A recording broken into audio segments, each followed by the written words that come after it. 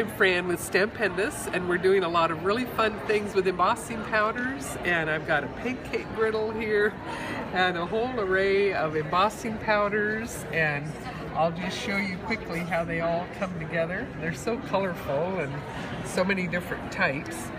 So I've got my pancake griddle set to about 300 degrees and I'll go up or down a little bit from there. And then I'm working on some craft sheets just to do all my melting on that.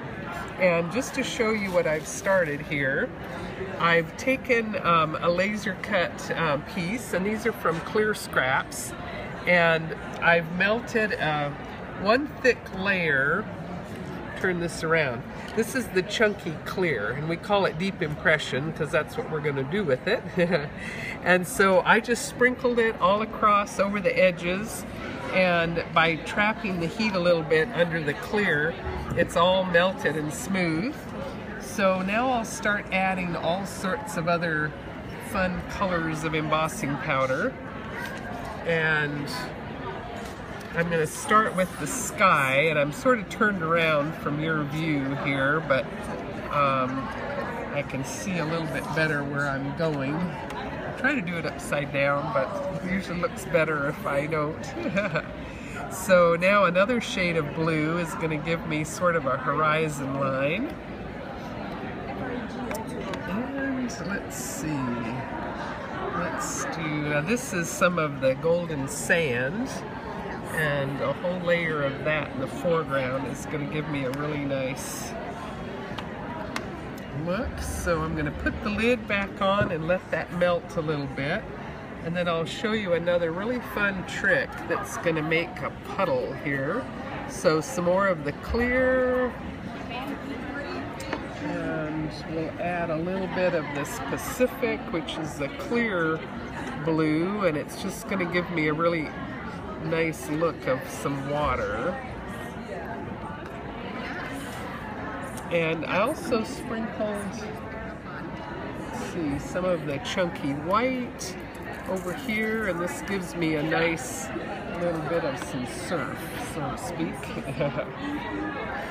and then this is the um, Luxe Mix. It's not an embossing powder, but it's got all this mica and glitter, and I'll melt a bunch of that in for some more bling. okay, and then it's just nice to have the heat coming from underneath and I can sprinkle and see exactly what's happening. I'm going to take this off and let it cool just so that I can handle it. And then we'll take the lid off of this one and now that's all melted. Look at that. It's just like that's pretty fun. Turn it, shall I turn it around here? Well, you just, yeah, you can kind of see the whole look there.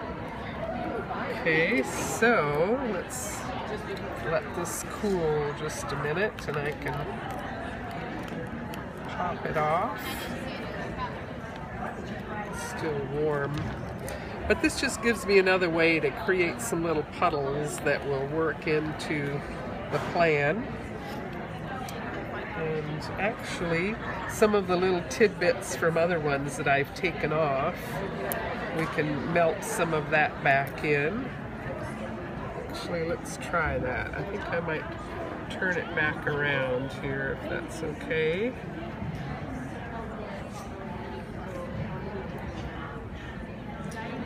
Actually, I think I like the cool one better.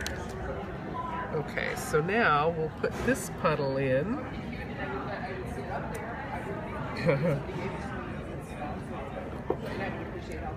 and then I'll take some of these uh, little bits and I can break them up and create interesting shapes and it just gives me the whole look of surf there and kind of fun shapes.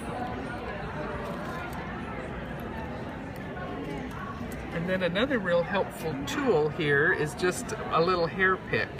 And I like to get the ones that don't have the plastic tips. And we'll let that melt just a little bit more.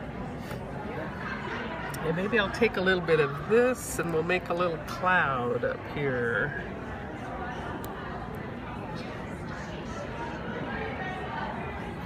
Sorry. no, that's okay. And then the chunky white, I'll do a little bit more sprinkling with that, which is just kind of fun. And every time they come out a little bit different, but it's just really fun. So now I can move some things around, maybe make little wispier clouds up there.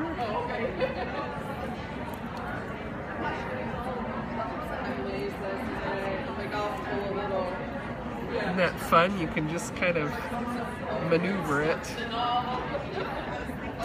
Okay, so then just before I take it off the heat, if I slide it, that'll just clean my edges. You get a nice little puddled edge.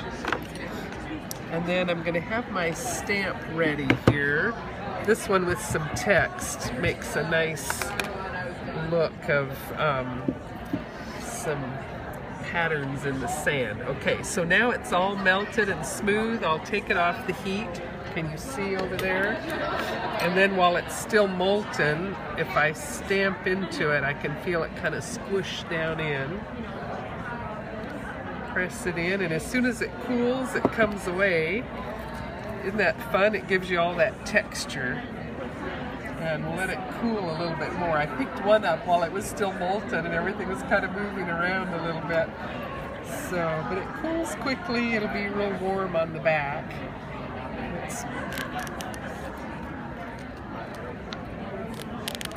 But each one comes out unique and different this way.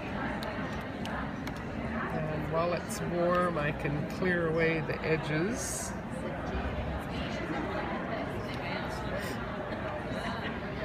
And another nice little tip, sometimes you can put this back on the heat and just roll it to clean an edge that way.